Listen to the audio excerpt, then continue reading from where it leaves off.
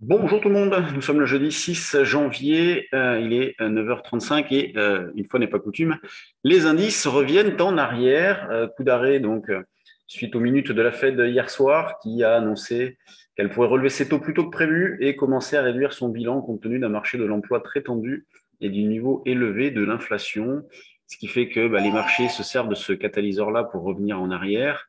Euh, une nouvelle fois, hein, tout se fait dans la violence. La hausse a été extrêmement violente. On, a l'illustration hein, de, la prépondérance du trading algo avec euh, bah, des mouvements qui sont en ligne droite. Alors c'est vrai que c'est un petit peu frustrant euh, parce qu'il y, a peu d'opportunités intraday. Euh, et là, la baisse également se fait en ligne droite, alors hors séance pour beaucoup. Euh, ce matin, donc, on a déjà dès 8 heures atteint le niveau de, un niveau de rebond. C'est sûr qu'il y, en avait, y en avait plusieurs, mais 7230, euh, c'était un niveau que nous, on a proposé dans la salle des marchés. Moi, j'ai proposé comme, niveau 7233 pour essayer de viser, par exemple, 7273. Bon, on a déjà pu faire un, un écart. Là, moi, j'ai recommencé sur 50 à acheter, je suis placé à 73 à travailler comme ça, toujours à l'achat, en ayant conscience que le niveau d'opportunité a baissé un petit peu.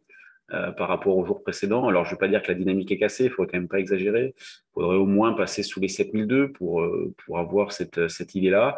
Mais il faut être un petit peu plus euh, prudent. On a des marchés qui restent vides, drivés par, par les algos la, la, plupart du temps. Mais ce qu'il faut, vous voyez, dans ce genre de situation, quand on a des replis qui sont un petit peu importants, il ne faut pas perdre de vue deux choses. C'est d'une part l'abondance hein, des liquidités. Euh, et d'autre part euh, les acteurs de la gestion qui sont euh, sous-investis. Donc, ce qui constitue un frein à la baisse, parfois un amplificateur de la hausse, et dans ce genre de situation-là, un frein à la baisse. Donc, on continue de travailler à l'achat. Tant qu'on est au-dessus de 7002, les probas de, rebondir sont supérieurs. on va chercher des écarts de 25-30 points. Il y a une volatilité ce matin qui est intéressante. Hein. Il y a eu de la nervosité ce matin.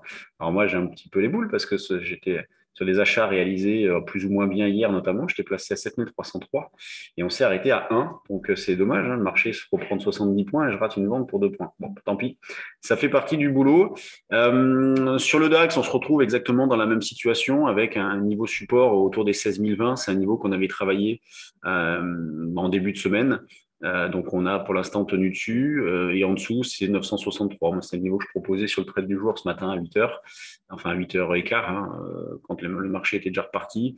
963, donc c'est vrai que partant de 16 120 ça fait un petit peu loin encore que il y a une volatilité ce matin qui permet d'envisager ce genre d'écart. on a une petite fragilisation en cours, donc sur des achats, faut pas, faut pas se précipiter non plus. L'eurodoll, pendant ce temps-là, bah, lui n'a pas du tout bougé. Hein. Euh, il n'a pas du tout réagi aux annonces d'hier soir. Il continue d'évoluer entre les mêmes limites, autour de 1,13 depuis, euh, depuis un bon moment déjà. Euh, on continue de travailler à la vente et puis hier, on a pu l'accrocher le niveau de vente puisqu'on proposait une vente vers 1,1340. Donc, on a pu le faire. ce matin, on a repris la même idée, même si on en est un petit peu loin. Il y a des niveaux intermédiaires, comme par exemple 1,1320. Donc, vous avez un 13,20 proche et sinon un 13,40 au-dessus. Et l'idée, bah, c'est de vendre jusqu'à 15,50 par exemple. Quand on regarde du côté des actions, bon, bah, bien évidemment, euh, l'ambiance a, changé. Hein. On avait un feu d'artifice ces derniers jours, euh, avec par exemple Alphamos. Je vous montrerai Alphamos tout à l'heure, valeur sur laquelle nous on est depuis un petit moment déjà. Euh, ce matin, on a Carrefour qui explose. Hein, vous voyez, poursuite, franchissement des, plus hauts récents. Euh, bon, il y a dû y avoir une nouvelle, mais j'ai pas trop eu le temps ce matin de regarder. Euh, qui poursuit. Donc, on a vraiment un, bon comportement des, des, bancaires en ce début d'année. Euh, SocGen, BNP aussi était pas mal. Là, je la vois pas dans la liste. Ouais, elle est en petit repli. Les sociétés générales qui, qui, qui surperforment tout le monde. Euh, Sanofi euh, qui euh, tient euh, correctement. Bon, c'est pas c'est pas extraordinaire hein, d'un point de vue graphique. Sanofi. Vous avez Total qui piétine aussi pas mal. Vous avez LVMH qui est un peu un peu dans le dur.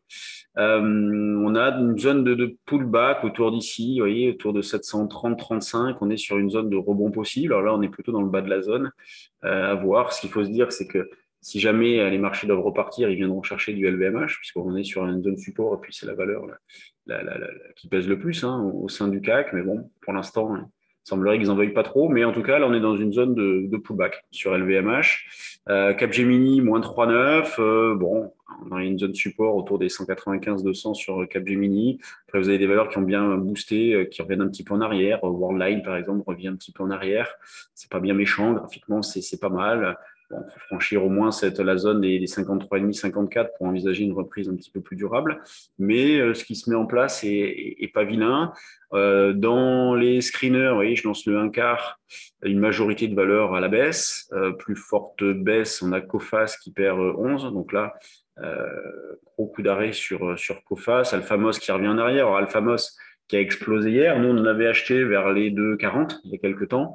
J'avais même remis un message en début de semaine en disant que là, elle redémarrait avec du volume, que c'était intéressant. Puis hier, ça a été, euh, ça a été euh, l'explosion. Elle a pris euh, 60%, je crois, ouais, 63, à un moment donné, elle en prenait plus, elle prenait 70, 75%. Donc, euh, bon, il y a eu une annonce, et puis après, la, la spec s'en est mêlée, ce qui fait qu'on a eu une, grosse accélération sur, euh, sur le titre. Euh, ensuite, ouais, c'est des valeurs qui, qui baissent. Vous avez Nano, Nano qui démarre, vous voyez, un peu dans le même esprit que, qu'Alphamos, Nano qui démarre, qui a franchi ses plus hauts, il y a du volume, il y a des volumes. Donc, on voit que le moral n'est pas si affecté que ça, parce que sur euh, certains dossiers, la spéculation y va. Donc, euh, je le rappelle, hein, la spéculation, c'est un marqueur de euh, confiance. Hein. donc, y a, tant qu'il y en a, c'est que les, les, les, acteurs ont, ont confiance, euh, sont pas trop inquiets, donc c'est ce qui est plutôt une bonne chose. Il faut surveiller ça.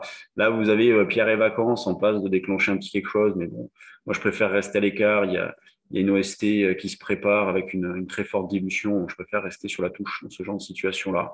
Donc, euh, bon, bah, des marchés qui font, preuve, qui font preuve de résilience avec une réaction évidemment violente, hein. euh, mais tout se fait dans la violence, on est habitué. Euh, on arrive sur des, niveaux support, 7200, 250 sur le CAC, qui sont pas inintéressants. Euh, ça peut tenir, on va voir. En tout cas, si on commençait à passer en dessous, à court terme, ça enverrait un message un petit peu négatif. Euh, bon, bah, je vous laisse. Alors, je vous retrouve ce soir pour ceux qui qui souhaitent participer à notre porte ouverte en ligne, présentation de nos services de formation. Passera un petit peu de temps sur euh, le trade du jour, que je vous explique bien comment ça fonctionne, la philosophie de ce service-là. Donc, si vous avez de l'intérêt, n'hésitez pas, ce soir à 20h. Et, euh, et sinon, bah, on se retrouve demain pour notre direct de la semaine. Allez, salut à tous, bonne séance, et puis à ce soir ou demain. Bye bye.